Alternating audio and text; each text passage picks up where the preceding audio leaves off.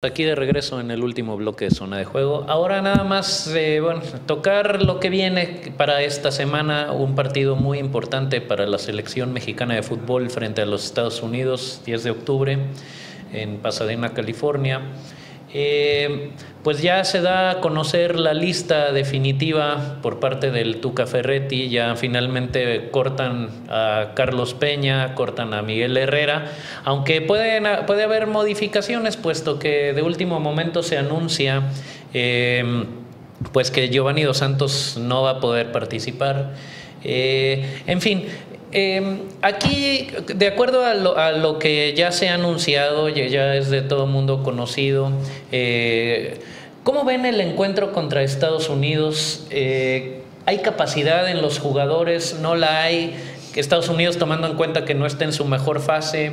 Eh, ¿Cómo ven ustedes este encuentro y este plantel de la selección mexicana para este encuentro? Mira, yo lo que le veo al partido es que esta vez sí tiene interés, ¿no?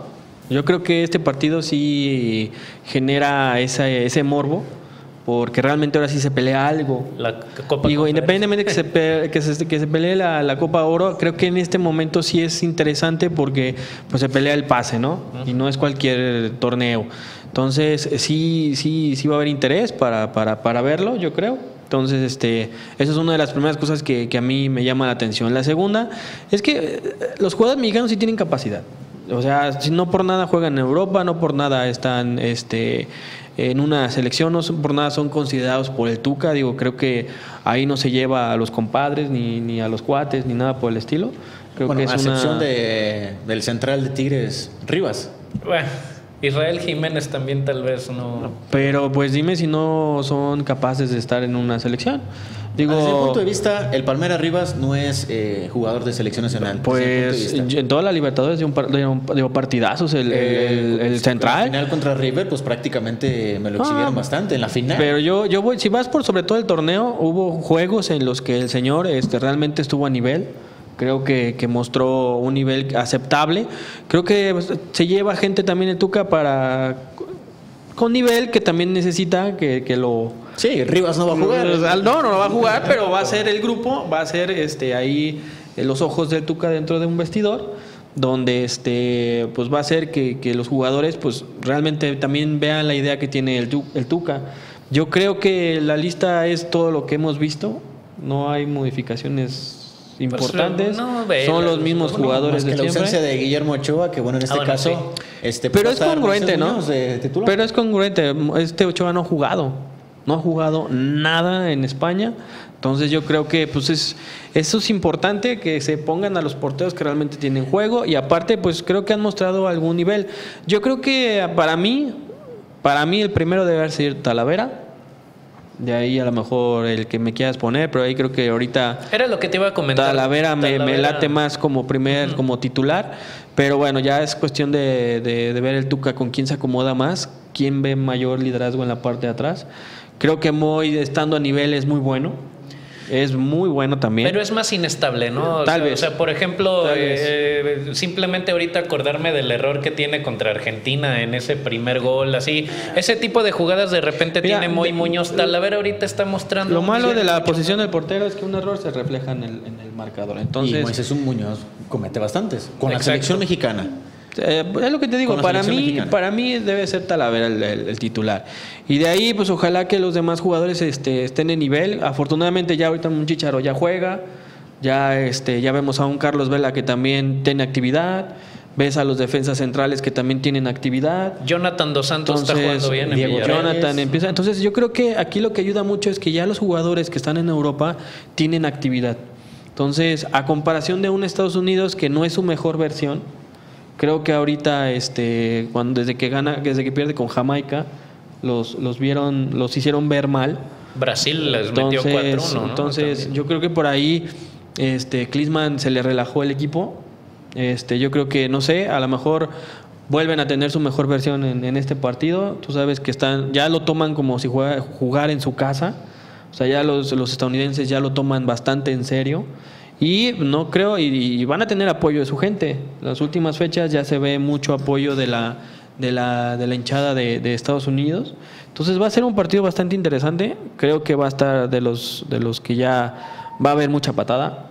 Para mí yo siento que va a, ser, va a ser un partido de, de, mucha, de mucha fuerza y más porque el Tuca, eh, sus, sus, sus, equipos son así, son de garra, son de lucha, son de entrega. Entonces yo creo que más aparte viene Rafa, no creo que juegue. Es probable que no juegue. Pero el liderazgo que tiene en, en, en el vestidor creo que va a ayudar bastante y la buena noticia es que Guardado pues ya jugó jugó con el, con, con el equipo, con el PSV. con el entonces yo creo que va, va, va, va, a ser un buen partido. Alexei. Sí, sin duda va a ser un partido muy interesante en el sentido de que, bueno, lo han calentado desde la semana pasada en redes sociales.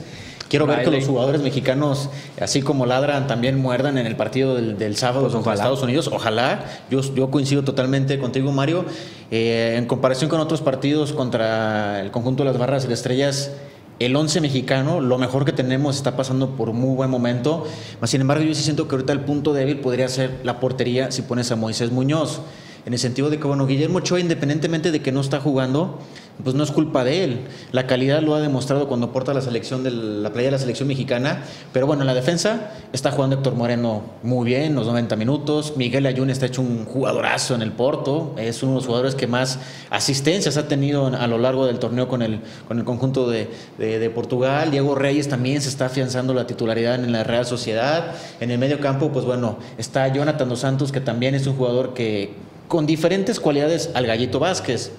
Yo siento que el Gallito Vázquez le cae bien este tipo de partido. Es un jugador que mete dura la pierna. Jonathan Dos Santos casi no es un jugador más de, de toque, de clase. Y bueno, pues Andrés Guardado también está jugando, es el capitán, aparte del uh -huh. PSV Eindhoven. El Tecatito, pues es el goleador del Porto. Y bueno, y arriba pues tenemos a Javier Hernández, que, que si no está metiendo goles, está dando asistencias, está teniendo minutos. Siempre es peligroso el Chicho. Siempre es peligroso. Yo sí siento que México llega mejor que, que Estados Unidos. A Estados Unidos lo que le está afectando es que hay una presión muy, muy fuerte contra Jürgen Klinsmann. Si no gana este partido, me lo van a, me lo van a bajar del barco. ¿eh? Es los rumores muy fuertes con la prensa norteamericana que Jürgen Klinsmann tiene que ganar este partido porque si no le van a acabar, le van a cortar su ciclo. Porque bueno, no ganaste la Copa de Oro, ¿cómo la pierdes en semifinales? Los partidos amistosos que has tenido no nos está dando confianza. Y si no ganas este partido, pues bueno, vamos a no, tomar y tampoco fue una gran asunto. Copa del Mundo de Estados Unidos. En comparación de otras, no. De, de hecho, No, fueron. no, no. Y fíjate que Estados Unidos, Jürgen Klinsmann, fíjate, fíjate lo que él dijo. Cuando termina Brasil, dice que tiene que haber una, una nueva generación de futbolistas y que iban a estar trabajando en ella. Para este partido, hace uso de 16 jugadores que estuvieron en ese partido contra Bélgica en Brasil. O sea, la verdad, por ahí Jürgen Klinsmann también está tomando sus precauciones. Pero me gusta mucho lo que dijo Tuca Ferretti el día de hoy. Dice: Miren, este partido, si lo llego a perder, bueno, si lo, si lo, llegamos a perder, el que más perjudicado no va a ser yo, va a ser la selección mexicana como tal. A mí me van a querer colgar, me van a querer acabar mi carrera, me la van a querer destruir. Yo ya estoy acostumbrado a eso. Es lo que yo le quiero transmitir a los jugadores. Yo no me voy a quedar aquí, yo no voy a estar en Rusia. Ustedes iban a ir, o sea, ustedes tienen que demostrar, tienen que ganar este partido. Eso es lo que me está gustando por parte de Tuca Sí, Ferretti. le- también les mete presión a los jugadores. Exactamente, o sea, no deben de, no deben de llegar relajados ni nada. Y también le, le preguntaban al Tuca Ferretti en la mañana en la rueda de prensa eh, que quién era el gigante de CONCACAF. Y dice, eso, eso ya no existe, ese gigante desapareció hace 20 años. Dice, porque bueno, el fútbol moderno se ha recortado bastante, que si vamos a esas, ¿quién es el gigante en la Conmebol? Dicen que era Brasil y le metieron siete goles en su Copa del Mundo, en su estadio. Well, Me gustó eso, quítense eso ya, eso ya no existe de quién es el gigante, ni Estados Unidos ni México. O sea, el que gane y el que demuestre en, la, en el terreno de juego es el que va a ser el, el El que está dominando ahorita. O sea, eso de que ahorita México es el gigante, eso ya no, eso también me está gustando porque, bueno, siempre hemos visto cómo los medios nacionales se le cuestionan a los futbolistas, a los entrenadores, de que el gigante, que todo eso. Yo sí siento que le está quitando presión, me gustó mucho eso por parte del Tuca Ferretti y que, bueno, eh, en dado caso de que México pierda, pues como él lo dice, o sea, a mí me van a querer linchar y todo, pero ojo, va a ser el primer fracaso de Decio de María bajo esta bajo esta dirección Sí. del- de la Federación Mexicana de Fútbol, pero yo sí siento que México en ese estadio, en el Rose Bowl, ha tenido mejores resultados.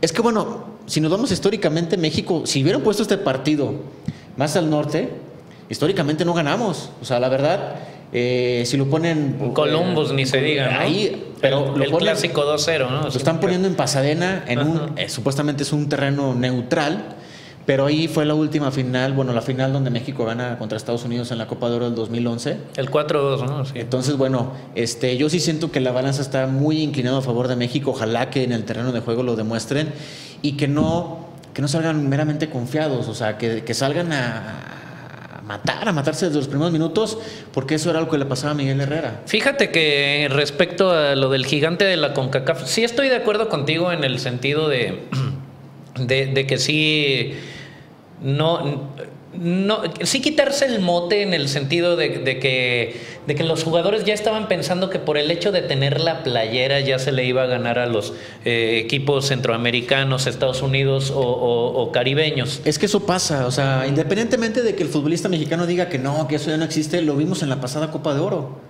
Sí. O sea, contra Panamá, México quería ganar con la playera, quería ganar con la jerarquía. Sí. Entonces el futbolista mexicano, no sé qué es lo que pasa en esos partidos, que bueno, cuando ya inicia y va transcurriendo el pasar de los minutos, México, los jugadores quieren ganar con el, con el famoso. Es que, fíjate, es que no ven, no ven, una trascendencia. O sea, el jugar contra centroamericanos no le ven la trascendencia que jugar contra un Brasil. Mm. ¿sí? Entonces, tú sabes que si le llegas a ganar a un Brasil, vas a estar en todo el mundo en que México, los jugadores mexicanos, o en particular un jugador mexicano, este, hizo un buen partido porque es la selección de Brasil. Pero como jugador vas contra un Haití, contra el que me pongas caribeño, pues no es la misma intensidad que vas a jugar. Y eso está mal. Recordemos el partido de Cuba, yo que creo Oribe Peralta metió como 4 o 5 goles. Yo creo que el, entrenador, el último entrenador que pudo haber este, mentalizado bien al, al, grupo de jugadores mexicanos en la selección fue la Volpe. Yo creo que mentalizó a, que realmente este, sobresaliendo sobre estas selecciones, ganando el pase a un mundial de una forma muy tranquila, este, podían darse a que México se hablara bien de él. ¿Por qué? Porque seguía siendo la diferencia en el área. Tanto que todavía se va a una Copa Confederaciones y se juega muy bien. O sea, con la Volpe se le gana, si no Perdemos en semifinales en penales contra, Argentina. Le jugamos a tú por tú. A Brasil creo que se le gana. A Brasil se le gana y, a Alemania, por el tercer lugar. Entonces, 4-2. Creo que por ahí el, el, último técnico que realmente hace un convencimiento al jugador de que cualquier partido se tiene que ganar y se tiene que meter una intensidad y jugar bien fue, fue la Volpe. De ahí en más, creo que los demás técnicos no han tenido esa capacidad de convencer al, al futbolista mexicano de decir que los demás partidos también son importantes. Entran ya muy, muy sobrados a, la cancha y donde pues ves la Copa de Oro pasada, donde equipos que, que te meten en, en, problemas y al final bueno, hasta cuatro goles te meten. Fíjate que yo, yo, yo, o sea, para terminar con mi comentario de lo que iba a decir, este, sí está bien quitarse este mote del gigante de la CONCACAF. No hay gigante de la CONCACAF. Este, nada más, eso sí, México, desde mi punto de vista, sí está obligado a ganar cualquier partido frente a cualquier rival de la CONCACAF. Eh, que no quiere decir que, seamos superiores, no lo seamos, no. Simplemente hasta por historia, por el tipo de fútbol que, se ha practicado a lo largo de los años, eh, también por el, pues, por el hecho de todos los jugadores que tenemos en Europa, México está obligado a ganar este, cualquier partido. Eh, y eso es... Sí, lo que decías, actitud, que es lo que ha transmitido eh, Ricardo Lavolpe. Pero en fin, eh, ya, se, ya se nos acabó el tiempo el día de hoy. Eh, muchas gracias, Alexei, por venir nuevamente. Al contrario, gracias por la invitación. gracias, Mario, por estar aquí después de varias semanas. No, gracias a ustedes y pues igual un saludo a Sebastián y a Leonardo. Y, bueno, yo, eh, Luis Miguel Fernández, les doy las gracias a todos los que nos sintonizaron en esta tarde. A nombre de Arnoldo Cuellar y colaboradores, les invito a que sigan consultando nuestra página para tener más información sobre diversos temas al momento. Eh, que pasen muy buenas tardes.